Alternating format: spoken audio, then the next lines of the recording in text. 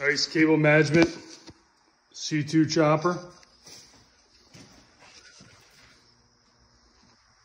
It's in good shape.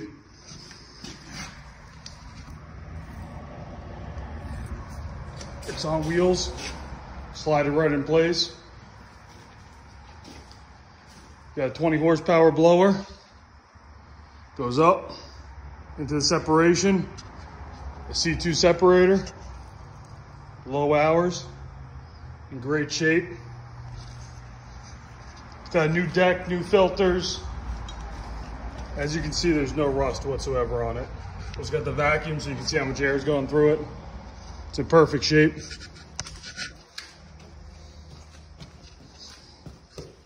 Runs good. Only reason I am selling is because I'm upgrading to a larger system. You also have the uh, dust collector right there. Tubes right in, right to the top. And it could run off 110 or 220. The shredder runs off 240 or 480. As you can see, it's in great shape.